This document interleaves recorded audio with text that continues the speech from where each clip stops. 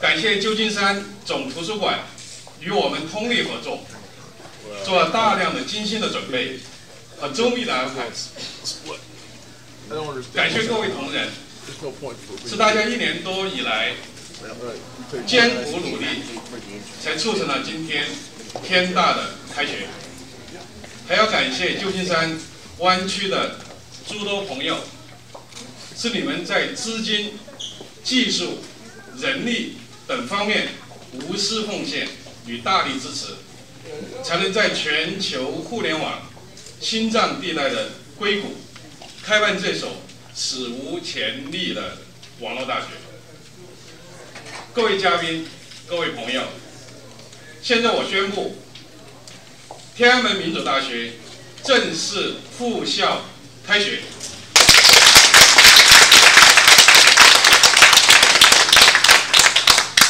从此刻起，天大的教学网站，我们有两个网站啊，dot dot com 那个网站，正式开始网上注册招生。在一九八九年北京大屠杀的。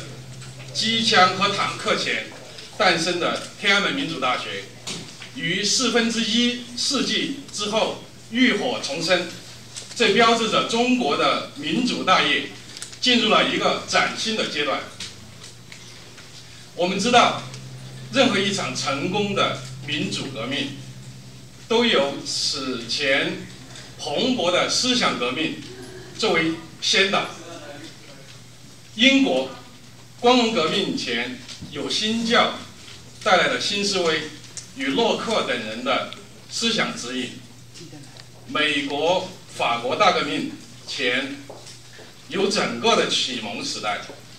中国辛亥革命前有晚清经世学派的影响和孙文学说的思想指引。我们看见在辛亥革命前好几年，国父孙文领导的中国同盟会。已经制定好了革命方略。武昌起义以后，成立革命军政府的时候，才有比较现成的方案可循。如今一百年过去了，中国的民主革命却尚未成功。虽然曾是亚洲第一个民主共和国，虽然两次建立了宪政的框架，却像俄国、德国、法国等国家那样。在建立了宪政框架之后，又遭到了专制的复辟、集权的泛滥。如今这些国家只剩下中国，还在集权专制、黑暗污浊的泥沼中挣扎。然而，如今我们是幸运的，百年前国父孙文那一辈人未尽之革命、民主革命，将在我们这一代完成。抗战胜利后建立起来的四六宪法宪政体系，虽然只在台湾落实，但是希望的曙光已在眼前。我们是幸运的，因为我们站在历史的巨人们的肩上。中国的往圣先贤，从孙文到秋瑾，从胡适到雷震，从陆浩东到六世先烈，到李望洋。百年来一直坚持不懈的追求，在中华大地上实现民主。百年民运薪火相传，如何凝聚共识、团结一致，共同结束一党专制，是目前中国民主运动的当务之急。为此，天安门民主天安门民主大学应运而生。八九年我们没有准备好，今天我们真的准备好了吗？新时代的民主革命方略在哪里？有没有一大批按民主革命方略武装起来的青年才俊？结束专制，从兵变、从民变到兵变到政变，这三部曲究竟是民变重要，还是兵变更关键？非暴力与正当的武力是相斥还是相容？转型正义的方案在哪里？如何瓦解专制体制内绝大部分成员的抵抗？专制军队、警察、情报系统如何转型，他们的出路在哪里？未来民主中国的宪政框架是否已经有了基本的共识？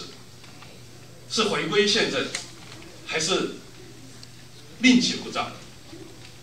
四六宪法是回归的起点，还是终点？等等等等，这些问题有些已经有了答案，有些尚待共识，需要专门的机构来仔细研究，来凝聚成共识，来传播给国内摩拳擦掌、跃跃欲试的青年才俊们。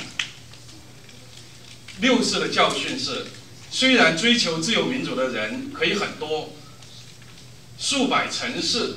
数千万人都上街游行，但是如果没有思想的武装，缺乏基本的常识和共识，失败仍然难免。人力、财力、智力，终归得靠智力。智、仁、勇，智力第一。但是长期的专制洗脑，使我们的智力常常无能为力。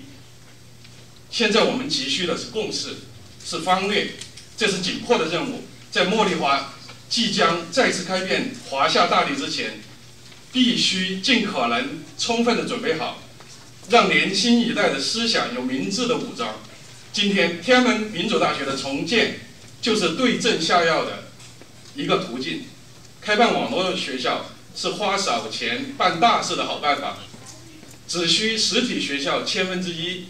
万分之一的资金就可以武装千千万万学员的头脑，擦亮他们的眼睛，为他们提供相对完善的行动方略。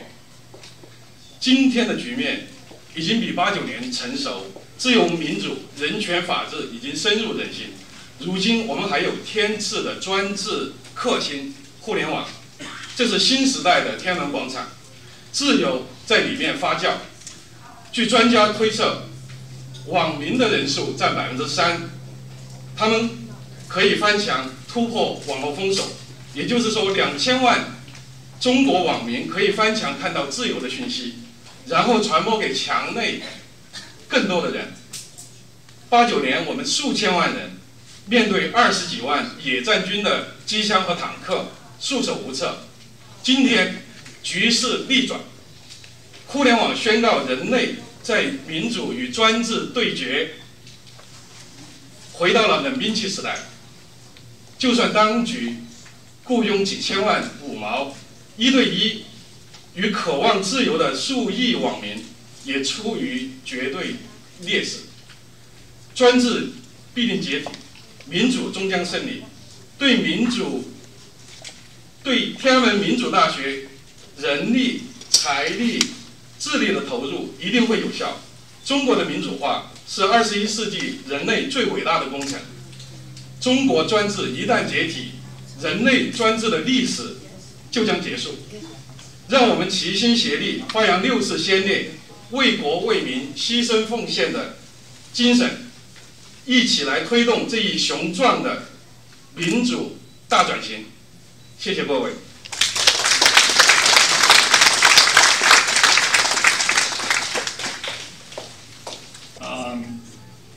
everybody showed up. Uh, Beijing's leading comedian, the leading opera singer. Then the workers started coming out. Uh, there was Army Military Academy group. It was one of the greatest sights I've ever seen in my life. I, I felt uh, as excited maybe as a lot of the uh, people in Beijing because I could feel the possibility that maybe things were changing and that this would be such a good thing for the country. 我是王维林，《山海 经》奠基我的骨骼脉络，经史子集塑造我的血气精魂。领带可以轻易碾过我的身体，即使一万次碾压，我依然站立。是在一九八九年六月三号创建的，这个日子，这个大学创建，这个日子。同时标志了另外一番具有历史价值的意义，那就是一九八九年春天的民主运动，在它的前期，如果说还带着相当的改良主义色彩的话，那么这一天却不一样了，因为经历过了两三个月的民主运动以后，大学生、市民和很多的广场上的人都已经懂得了民主对于中国的制要性，懂得了民主在中国必须实现的，也懂得了专制统治者在抗拒民主方面所耍过的那些伎俩，对专制认识深刻了，对民主的认识也深刻了。这个时候，就在坦克车即将从天安门广场上碾过的时候，天安门民主大学诞生。这个诞生的意义非同寻常，因为它标志了一场曾经带有相当色彩的改良主义的民主运动，就从这一天开始，真正的变成了一场民主运动。四九年以后的第一场真正的民主运动，从这一天开始，它标志了一个非常鲜明的特色，那就是学生们和北京天安门广场的朋友们都意识到，我们要学习民主，捍卫民主，追求民主，而且要把这场民主运动永久的推展下去，那就必须学习民主的知识，这样才能掌握中国的命运及中国民主的未来。我以为这个意义是我自己在回顾当中思考出来的，这就是天安门大学创建的二十五年过去。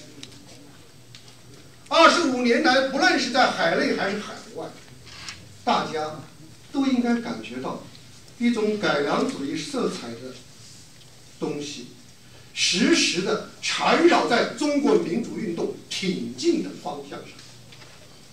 我们很多朋友来到海外以后，更感觉到专制体制内的那一片梦想，那片企图帮助中国共产党能改好、学好的梦想，似乎总是和我们推进民主的步伐相协调。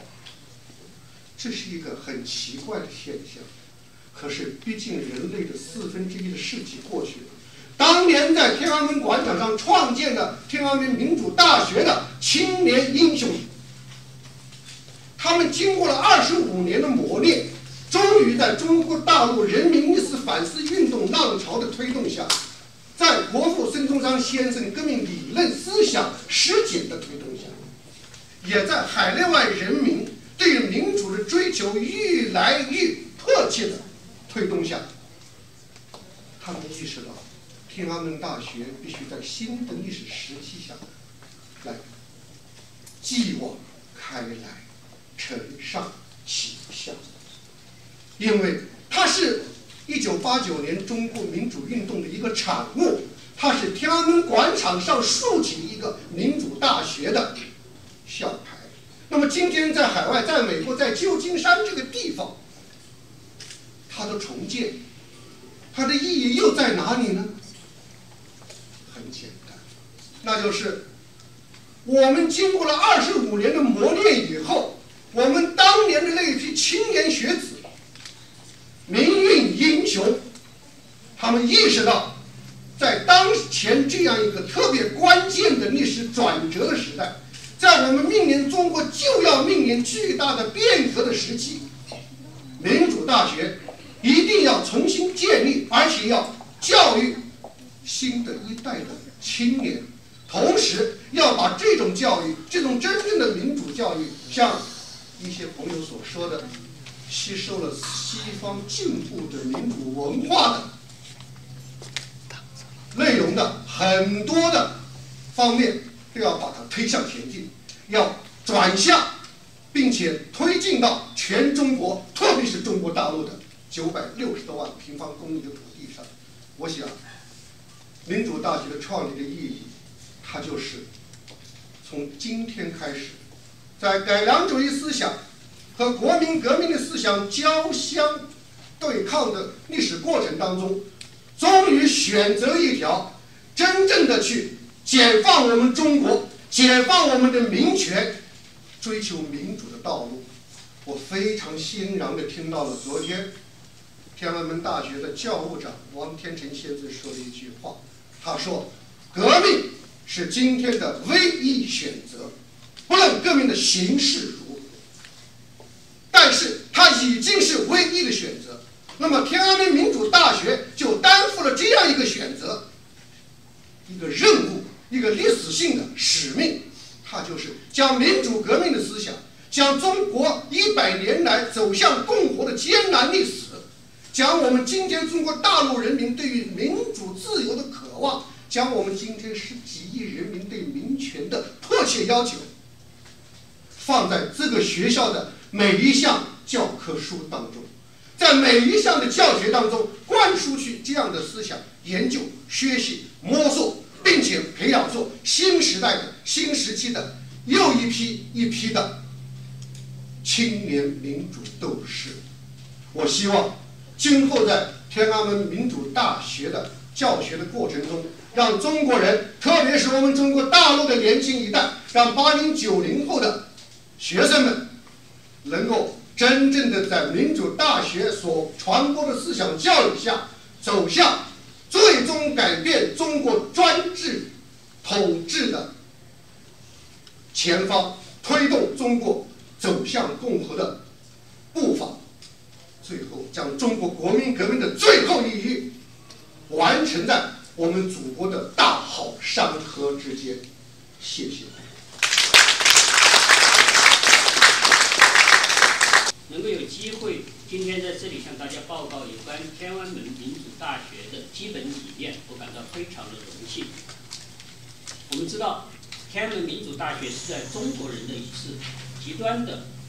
史无前例的巅峰体验中间诞生的一所大学，是中国人距离文明人类最近的一个历史时刻诞生的一所大学，是在大军围城的艰困形势下授课的大学，当然，也是在血与火中被毁灭掉的一所大学。二十五年后的今天，作为天安门民主运动的文化遗产和学术遗产。作为天安门民主运动的精神遗产，造就人才、凝聚共识、开放转型、实现民主，这是我们的目标。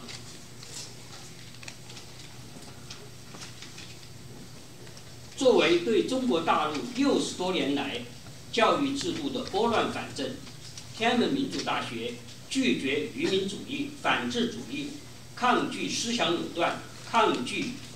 党化教育作为在中西文明交汇的历史时刻创建的大学，作为多种文化交流的重镇，在多种文化交流的重镇，旧金山附校的向中国和世界实施远程教学的大学，我们将坚守对普世性价值和学术使命的承诺和守护。然而，除了上述普遍性的一些承诺之外，我在这里还想特别强调。天安门民主大学自身的独特的五项传承，它的特别的定位。首先，本大学直接溯源于一九八九年六月三日在北京天安门广场创建的天安门民主大学，是他的生命的传承。第二，他致力于继承1937年到1946年中国西南联大的精神。承接这所近代中国最伟大的大学的一些基本理念。第三，他认同和守护蔡元培时代兼容并包主义的北京大学的宽阔胸襟。第四，从古代中国的传统回溯，他的精神脉络可以追溯到孔子创立的有教无类的私学教育传统，东汉时期太学生学潮，以及明代东林附设读书人。抵抗暴政的传统，以及白鹿洞书院、岳麓书院等等民间办学的传统。最后，我想特别提到一所西方大学，就是德国的柏林自由大学的建校的历程及其传统。在冷战期间，原柏林大学被划入东柏林，受到苏联及东德共产党当局的管制，学术自由横遭压迫。为了追求学术自由，大学自治。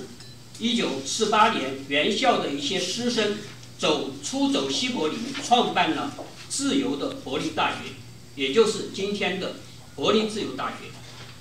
他们以真理、公平、自由为教校训，成长为今天的德国的九大顶尖的学术重镇之一。这一个大学自由追索的历程，我们心向往之。今日在天安门民主大学的角度和轨迹上，我们追随柏林自由大学，我们和他们的理想不谋而合。我想在此向该大学的伟大的创建者致意，并将追随这些先驱者的足迹，办好我们的天安门民主大学。女士们、先生们，天安门民主大学将是一所真正的无围墙的广袤无限的大学。在这个柏林墙已经倒塌，而翻越长城防火墙的中国人，也如春潮汹涌的当代世界，天安门民主大学将为消除一切思想的、文化的、学术的、种族的、阶级的各种隔绝，洁净绵薄，为拆掉人类的一切有形的与无形的精神围墙，为天下一家的人类的自由理想而鞠躬尽瘁。矢志不渝，谢谢大家。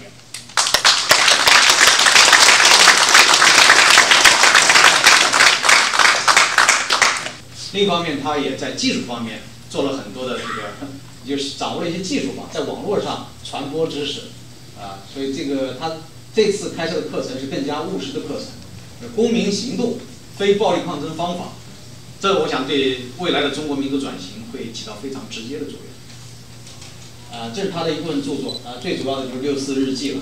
我想关于那场这个天安门学生运动，它的真相、它的背景，有很多的著作出版，但是那么详细的记载每一个细节、每一个事实，甚至每一天的情况，这样的著作并不多见，啊，所以我希望呃把冯德先生的这个书呢隆重推荐给大家，就是作为一个研究天安门那个整个运动的一个重要的历史史这个资料进行对比。呃，这个而且他出了新的版本，这个。呃，右边这一本呢是新增订的版本，啊，所以这个有很多的争议了。当然就是说仁者见仁，智者见智，但是凡是亲历者都可以通过各种不同视角、观点来反映那场事实，啊，那场运动的事实。呃，冯崇义先生呢是呃澳大利亚悉尼科技大学的这个教授，啊，他是中国部的主任，啊，也在南开大学历史系兼职啊。当然，那个那个字大家注意要打错。没错没错。啊？没错。怎么没错？对中国说哦哦。是有意的吗？那他开设的课程呢，叫当代当代中国政治。我想这门课大家也知道，挑战性很强，因为当代中国政治扑朔迷离呀。啊，很多事情外外界的人学者可能很难了解那么清楚，但是呢，你可以通过一些能够公布的资料去分析，所以这点是相当具有挑战性，我也很敬佩。呃，然后这个是呃冯崇义先生出版的一些著作，啊，罗素与中国西方世西方思想在中国的一次经历，呃，这本书据我所知在国内影响还是比较大，啊，然后后来还有有关中共党内的一些自由主义。啊，从陈独秀到这个李慎之，这个书也都非常，应该说是受到各方面的欢迎，啊，我就不再细细说了。呃，然后何青莲先生今天没有到，啊，这个是女的，我们尊称她为先生，啊，因为她是呃在国内就很有名，就写了这个现代化的陷阱，我们仍然仰望天空等等这个著作，当然后面还有。那么他开设的课程是中国的危机。所以，作为中国大陆的老百姓很关心，就未来会出现什么样的危机，他做了很多，他在网络上也很活跃，也写了很多的这个文章，是美国之音的签约的专栏作者，啊，这是他基本作为代表作啊，《物所中国》《经济学与人类关怀》，我们仍然在仰望星空。这位李江林呃女士，刚才大家见了主持人是吧？他其实是西藏问题的专家，他这些年写了很多有关西藏民族问题的著作。呃，同时呢，他又是一位专业的图书馆这个呃工作者，所以他由我们这个呃李江林女士呢这个加入的话，我们那个天安门民族大学在图书档案资料方面，我相信会得到专业化的管理和和这个提升。呃，这是他的代表作《一九五九拉萨》，还有《当天鸟在天空飞翔》。呃，这些著作呢是基于他的大量的调查他到西藏去过很多次，他也见过尊者多次，啊，后来呢，因为中共仇视他，觉得这些著作带来了很大的负面影响，所以呢，现在他不不被允许进入中国大陆，啊，这就是付出的一些代价。呃，万延海先生，大家知道，在国内就是一个积极的维权人士，艾滋病维权活动人士，爱之行研究所的所长。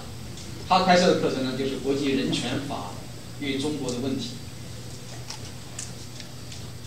呃，王天成先生刚才已经呃大家提及了，就是说我们呃天安门民主大学的教务长，他负责很多具体的工作，就包括我们前期的准备，还有这个课程的开发，一系列很多这个琐碎的问题。天成投入了大量的精力，付出了大量的心血，我在此也代表我们所有的这个学术委员向他表示感谢。那么他开设的课程呢是民主转型导论，世界与中国。啊，我刚才忘记提及他过去在北大任教，他是北大法学院以前讲师，后来呢因为组建中国呃民主自由党被逮捕判狱呃判刑，坐了几年牢，后来到美国来。呃，做访问学者，然后又读法学的这个硕士学位，应该说他自己也经历了一个转型啊，这些年来，所以很不容易。我非常高兴的听到他最近可能就会拿到驾照，这个各种各样的转型吧，生活的转型，思想的转型啊。然后他的这个代表作就是《大转型》，我相信大家上网一搜都都能看到。当然，今天是不是有带了一些书啊？如果有的话，大家可以现场他说去啊。啊，这是他的一些著作啊。呃，吴国光先生，大家有很多人可能知道，在八十年代就是在体改所，也就是当时中共的一个非常重要的机构里面工作。呃，他所以对当时八十年代的改革，包括赵赵子阳、胡耀邦的一些呃当时所做的言论啊，或者一些指示，都有很多呃不为人知的了解。那么他现在是加拿大维多利亚大学政治学教授、历史系教授，而且是中国研究亚太关系讲座教授。他开设的课程也非常重要，叫民主导论。呃，很遗憾，他他这次没有到现场来。然后这是他的一份著作，《赵子阳与政治改革：改革的终结，中国的未来》。啊，还有一本这个日本呃日文著作。这个日文著作呢，我们看我还不知道 他的书的名字，当然大家自己可以去了解。有一本英文著作是《China Turns to Our Much Naturalism》，这个这个书也是应该说是非常好的，在这个系列里。呃，王维洛是一位著名的水利工程师，啊，德国多特蒙特大学前教员。他的研究呢，是让我们重新审视长江三峡工程的，呃，到底它是福气还是祸气，对它进行一个再评价。那么他的开设的课程呢，就是公共决策的理论、程序和方法。所以这一门课程呢是比较务实的，啊，就是给人感觉是跟工程技术相关的。但是实际上是从一个宏观视野来审视这样的一些重大的决策。啊，这是他的著作，还有《三峡工程三十六计》。于大海先生，呃，是中国留美经济学会首任会长，普林斯顿大学经济学博士。他跟呃非常有名的经济学家这个杨小凯是很好的朋友。但是于大海呢，呃，后来就是大部分精力都投入到民运之中。所以很长一段时间里面，大家更熟悉的是他作为民运人士，啊，那么后来他曾经在这个呃美国的一些大学里边任教，呃，从事经济学的教学。那这次他开设的课程呢，也是很具体的，叫货币与金融问题。我相信很多人对这门课程，尤其是年轻人会比较感兴趣。呃，夏明教授刚才已经有过助词，他是纽约城市大学的政治教授，啊，纵览中国专专栏作者。他曾经也担任过当代中国研究的副主编，呃，所以他对中国呢，除了这个理论研究以外，还有一些调查，包括做一些专题片，对吧？就这些年来，可能中共对他也是呃比较恼火，他通过文献片来反映一些事实。呃，这是他一些著作，包括一些呃主编的著作。啊，这是我本人，我想有些人已经从网络上、报上多少了解了一点情况。我以前在北大任教，呃，十三年，但是后来去年被这个北大官方解除我的职务。但我相信这个事情呢本身并不是北大做出的决策，是更高这个决策的。呃，那么这样的话呢，我也借着这个机会来到了自由世界，啊，能够专心致志的现在在这个华盛顿特区的这个呃 Cato Institute，家族研究所，从事这个政策方面的研究，主要是针对中国的政策研究。目前我是他那边的唯一的华人学者。呃，那我们那个组里边还有一位非常了不起的俄罗斯学者，他原来是叶利钦和普京的首席经济学家，也是后来得罪了这些领导人，后来就跑到美国来做研究。所以我们两个是有点同病相怜，很 有意思。啊，我这次开设的这门课程呢是经济学导论，呃，这个其实跟我在北大开设十几年的课程是相同的，就是一门经济学的入学课程，通常是对这个大学新生来讲授的。那我过去在大学里边一直用的教材是哈佛大学曼昆教授的那个教科书，叫《经济学导论》《经济学原理》。那我这次打算自己写一个，就是说那个结合中国的一些学生的特点来写的那个经济教科书。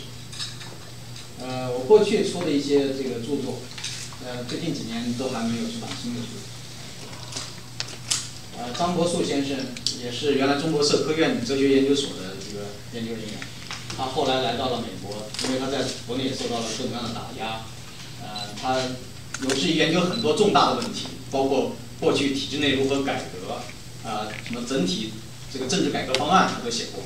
啊，本来是应该由中共权威机构来写的，他个人写了很多那样的书，啊，但是现在他出来之后，他又写了一系列著作，啊，现在在哥伦比亚大学做这个访问研究，啊，大家看一看他这个最近这些年出版的著作，包括就我刚才前面提到的一些，啊，中国宪政改革可行性研究报告，他过去写的是中国政治体制改革可行性研究报告。那曾宇硕先生是在香港城市大学担任讲座教授，也是当代中国研究计划统筹人，而且是香港社会科学学报的总编。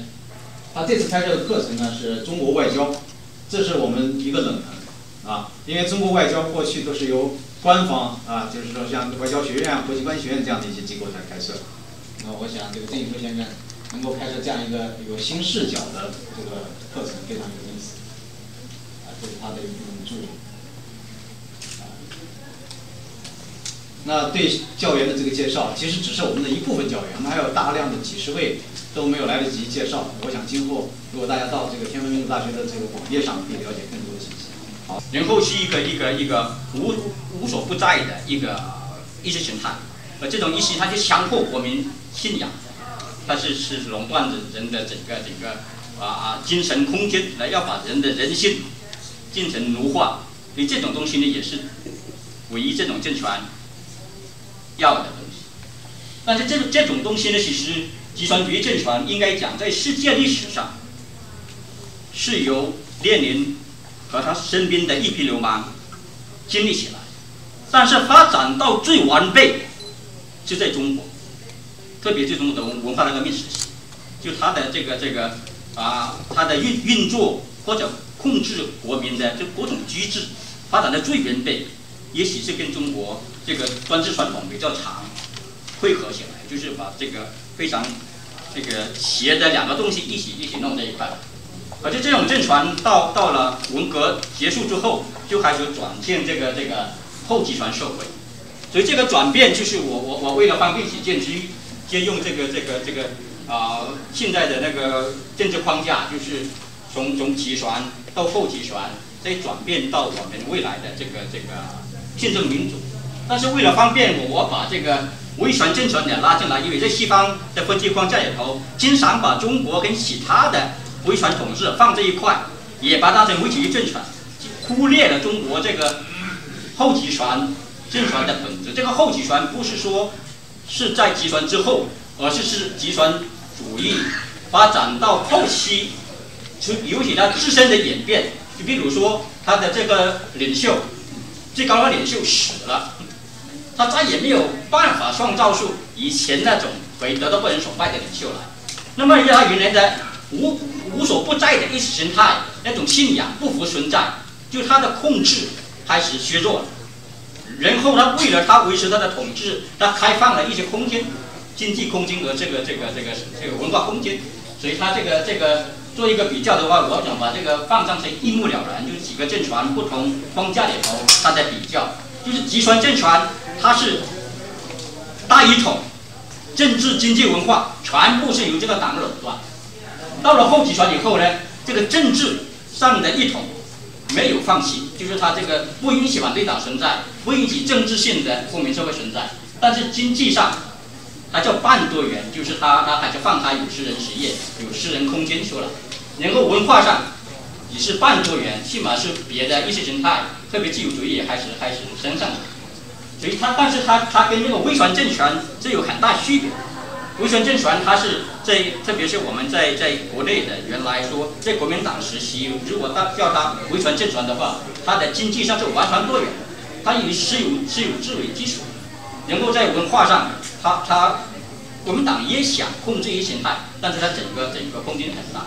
那么它下来后来现在呢，进到现在，中国是开始这个转向，我们要奔向这个这个宪政民主的社会。所以为了啊庆祝一下，我我是昨天晚上做了一首诗，所以这个这个以一首诗来结束作为我的结论。啊，这是这个昨天晚上在在在在他们呃在我们在在在房间以后弄出来的。啊，这个是卜算子，天打啊，佛学借藩邦，但这个藩呢是外国耶回讲，是这个这个这个我们的这个这个。二十三番市广场胸中放，就是当年的广广场大学放到我们心中，带到这里来了。机场这个机型燃烧护炬火，但这个炬火是天安门民主大学的炬火，在我们的这个会标上。这。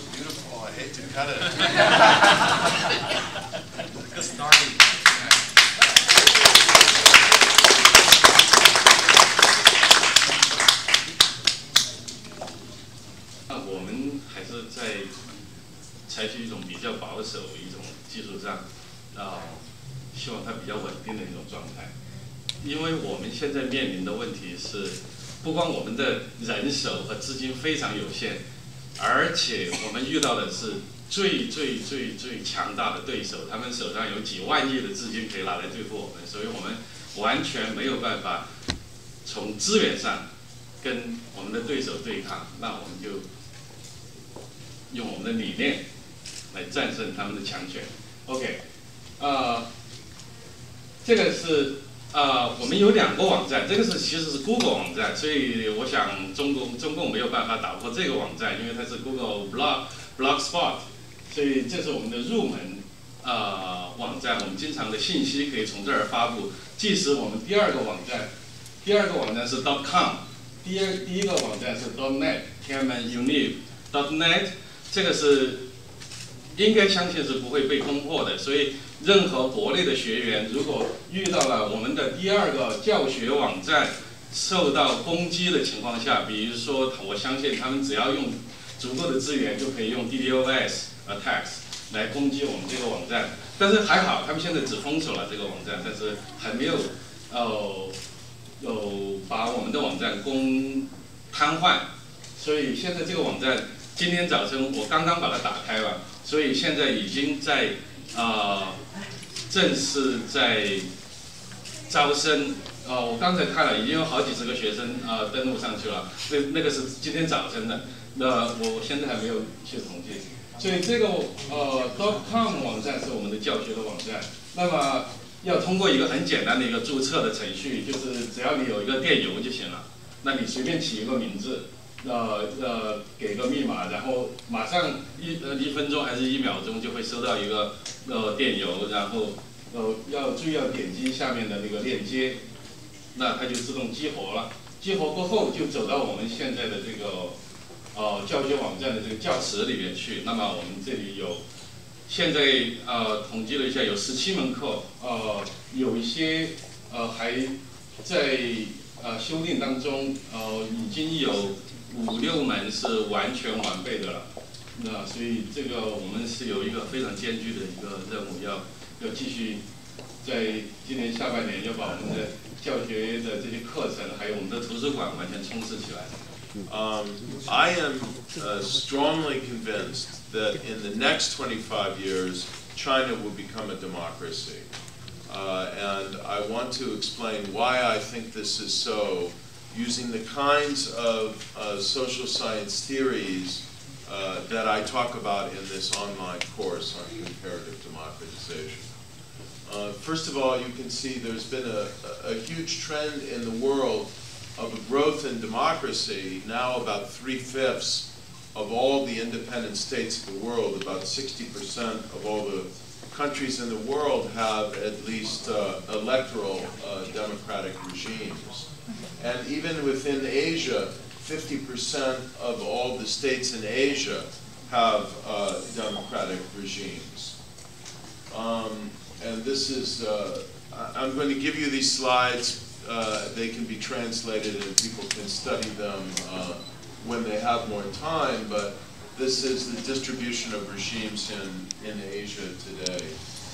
The important thing to stress is that, and this is the dilemma that the uh, Beijing leaders face, and they're aware of it. I think they're quite aware of it, and they don't know how to deal with it. Uh, and that is, as countries develop, they experience a variety of pressures for democratic change. And I think I can show that these pressures are happening uh, in China today, but I don't need to show it. You know that they're happening in China today. Uh, and if you look at the levels of human development as measured by the United Nations Development Program, as countries become more developed with more education, more literacy, higher life expectancy, and so on, the probability of them being a democracy rises. So when China moves into the very high human development group, it's as it moves in this direction, which it's been moving in, it's going to face increasingly formidable pressures uh, to change politically. This is just another uh, demonstration of that. Now look at the trends on the Human Development Index, which varies from zero to one, as measured by the United Nations Development Program. And you can see how rapidly, I mean, we must give the Beijing authorities credit for something, uh, there has been a very dramatic improvement in the level of human development between uh, 1980 and, uh, and this year. And China has moved up very, very rapidly. But the dilemma it faces, again, is as it moves up rapidly, uh, and other East Asian uh, autocratic regimes have been moving as well, the pressures uh, grow. And um, the late Harvard political scientist Samuel Huntington had a, a theory about this, that as countries uh, increase in their levels of income and education, they move into a political transition zone should we simply let morally upright political leaders decide everything, 48% of people in China today say no. Uh, in a difficult situation, is it okay for the government to disregard the law? 58% say no, only 29% say yes. And interestingly, this is about the same level as Hong Kong. Mainland China is already at about the same level of Hong Kong in other levels, it, it trails Hong Kong, but not by that much. And keep in mind, what is happening is that economic development is making young people in China in particular more confident politically, more demanding of their political rights, more questioning. And if you develop a, uh, an index of support for the regime, which the Asian Barometer has, uh, you can see it's very high in China today. I think the data show this to be higher than it really is because I think some people in China are bound to be nervous about saying that they don't, uh, they're not proud of the government. But in any case, the point to um, the point to stress is that if you develop an index of support for the regime, and then look at what is the level of the support for each generation, those born in the 1930s, the 1940s, the 1950s, all the way through to those born in the 1980s. You see what's happening here? With each generation, the level of support for the regime is declining. People are becoming more questioning, more confident, and young people who are born and raised into greater levels of prosperity and education, um, with better ability to use the internet, and to, to go straight to Tiananmen University are um, becoming more uh, um, aspiring of democracy.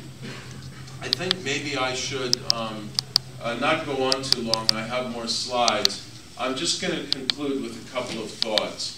Uh, this is not going to happen, the transition to democracy, by some magical process of um, economic development alone. It's uh, uh, inevitably a political process. Transitions to democracy can only happen through political means. Uh, but one of the reasons why I am hopeful about democratization in China today is because the regime will deny it, but you know there is a civil society emerging in China today. And maybe it's not very political now, maybe they're just doing charitable works or non-political things it seems, but they have a political consciousness as well, and they are developing the capacity to organize. And civil society inside China merging with civil society, well, here we are in this room today, outside China, is a very powerful force. And finally, I would say that the, the leaders of the regime in China may seem very confident, but we know they're not. They wouldn't be sending their money and their children abroad uh, to the extent that they are today if they had confidence in their own future. Uh, and they are in the horns of a dilemma that no authoritarian regime in the world um, has been able to solve. And the dilemma is that if they succeed, they fail, and if they fail, they fail. That is, if they fail to deliver economic development, they're not going to be able to survive because there's no other basis of legitimacy for the Chinese communist regime today except economic performance. Nobody believes intrinsically in the moral legitimacy of Chinese communist rule today. So they must keep generating economic development to survive. But if you follow my logic, if they keep generating economic development, the society will change, values will change, people will have more information, more education, more self-confidence, they will be more empowered in their thinking. Uh, civil society will grow, and they will demand democratic change. Uh, and I am very confident that you will help accelerate that process. Thank you.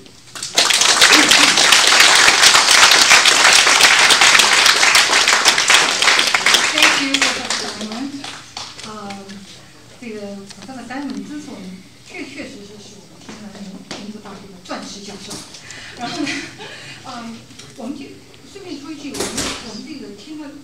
天大的教学方式，除了这个课件的方式，还有语音的方式。所以呢，我们以后会有定期的这种，或者是不定期的这种语音教学，可以和学生之间呃互动的方式。现在我们请那个 Steven Mr. Steven 部我们的翻译组长来做一个简短的中文的那个上台词。嗯。咱们教授的话啊，从两个方面啊来讲中国的民主，一个是中国为什么一定会实现民主，另外一方面是中国怎样实现民主啊啊？为什么中国一定会实现民主啊？来来呃，咱们就是从这几个方面来讲，一个是民主的大趋势，世界上实现民主国家的制度，实现民主制度国家就越来越多啊。现在的话啊，已经是百分之六十一。的国家实行了全体民主制，百分之四十五的国家行了自由民主制。另一个方面就是经济的发展和民主化之间的关系。这个话，嗯，咱们就是从两个方面来论述：一个是人的发展水平和民主化之间的关系。人的发展水平越高的国家中，他们实现民主的比例就越高。中国的话，现在已经是中等偏高，是零点七了。所以说，民族已经呼之欲出了啊。第二个是从富裕程度来看啊，也就是说，人均收入，嗯，在二零一三年的水准应该是三千到一万美金之间的人均收入啊。这这些国家，他们实现民主转型的可能性最大。中国二零一三年已经是九千美元了，所以就已经进入了政治转型的区域。另外一个方面啊，是从大众对民主的态度和民主的价值观的进步来看啊，那个有一个问卷调查，从各方面来问卷啊大众对民主的价值观和态度啊，他从台湾的例子来看啊，是越来越往上升，中国大陆也是啊。他呃用了二零零二年和二零一一年的比较，啊，中国大陆的民众对民主价值观和态度是就是往上升的啊，啊，另外啊还有对每一代人来做调研，一九三零年到一九八零年出生的，每新的一代他们对威权体制的支持度就越来越下降，嗯。另外啊，雷尔教授也谈到了科技和民族的关系啊，主要是互联网对民族有很大的推动。达姆教授他最后讲了，就是中国领导人面临的两难的处境，就是经济发展如果不发不如果不发展经济，那么啊，对不起。如果发展经济，那么照刚才的理论，就是人民的民主价值观就会越来越越往上升，公民社会就越来越成长，最后导致人民要求政治上更大的自由。但是如果他们不发展经济，那么就很难保持执政合法性，中国很容易发生革命。差不多这些。谢谢。呃，教务长，我刚刚问问一个问题。张教授，这个属于哪一类？转型类、理论类，还有实践类？嗯，转型类。转型类。OK，这就是我们天堂课的一个教学的基本方式。啊，现在我们进，我们已经这个进行到最后一项，我们请几个啊倒数第二项，请我们的教务长来做一个闭幕的致辞。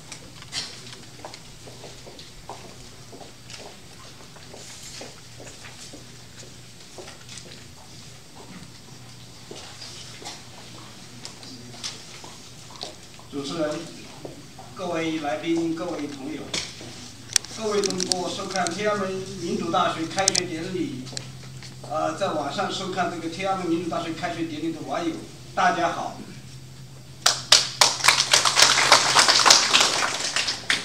在这里呢，我从世界民主潮流的角度，谈谈中国的未来与天安门民主大学的使命。这是一所有着特殊使命的大学的开学典礼，所以我就从一位有着不守声誉的思想家开始。他就是法国思想家、政治家托克维尔。他有一本书叫《旧制度与大革命》，由于共产党的一位领导人推荐各级官员们阅读，这两年呢在中国非常畅销，颇有点洛阳纸贵。那位领导人呢？推荐这本书是因为托克维尔有一个著名的论断。他说呢，对于一个坏政府而言，最危险的时候就是当他开始改革的时候。那个时候呢，他更容易被革命所推翻。所以呢，这些年来呢，中国有一些为专制政府利益着想的人就说，改革还不如不改，因为改了反而会更容易被推翻。但是托克维尔有一部更著名的著作，叫《论美国的民主》。他在那部著作中一开始就做出了一个先知般的预言。他说，民主即将在世界范围内不可避免的和普遍的到来。托克维尔认为呢，争取民主是一场源远流长的伟大运动。他说，对于这样一场。伟大的运动，想靠一代人的努力去阻止，岂非愚蠢？托克维尔做出这个预言的时间是一八三零年，到现在呢，已经有一百八十多年。当时呢，欧洲呢爆发了革命，世界的第一波民主化浪潮正在揭开序幕。到了第那第一波民主化浪潮呢，它主要集中在这个欧洲和美洲，一直呢持续到二十世纪二十年代，也就是一战结束以后的啊啊几几年。到了第二次世界大战结束的时候，又发生了第二次民主化浪潮。到了七十年代中期，也就是与中国所谓改革开放，这主要是局限于经济领域的改革开放，差不多同相同的时候，发生了第三波民主、第三次民主化浪潮。七十年代中期到现在的四十年中，共有七十多个国家发生民主转型。在每一波民主化浪潮后面，都有。一批国家的民主崩溃或者失败，但是人类自由总体上是向前发展、向前扩张的。根据呢国际智这个一个智库非常著名的一个智库叫自由之家的计算，一九九二年世界上有九十九个民主国家，占全部独立国家的百分之五十三。人类历史上的民主国家的数量首次超过了非民主国家。现在呢，就是此时此刻，我在这讲话的时候，世界上有一百二十二个民主国家。一九八八年的时候，有多少人能想到东欧共产主义在一九八九年崩溃？我并不是说要坐等那令人震惊的一刻的发生。如果没有足够数量的人冒着风险去争取，那令人震惊的一刻是不会到来的。当然，如果独裁者，拒绝选择历史正确的一边，坐等着令人震惊的一刻的发生，那一刻是一定会发生的。刚才呢，莱利教授呢说呢，中国呢，这莱了莱莱姆戴维莱利戴蒙教授呢预言中国呢在未来二十五年之内会民主化。我相信，在未来二十五年之内，那令人震惊的一刻一定会发生。我们有这个信心。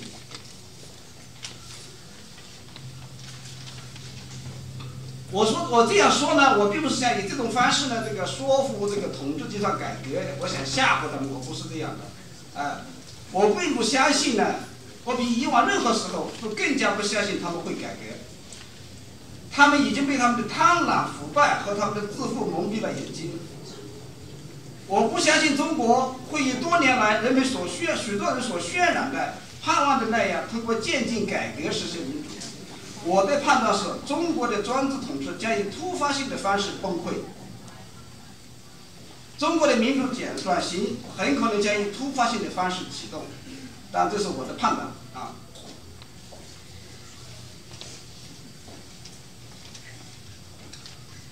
其实呢，就是说啊，到现在为止啊，就是我们这个一共世界上一共发生了三次这个民主化浪潮。哎，其实呢，我们呢，我们国家是赶上了第一波民主化浪潮。一九一一九一二年呢，建立的中中华民国是亚洲第一个共和国，这是大家都知道的。啊，虽然它是一种半民主体制，但是人们所享有的自由远比现在广泛。不幸的是呢，它后来呢，这个民主呢没有巩没有巩固，崩溃了。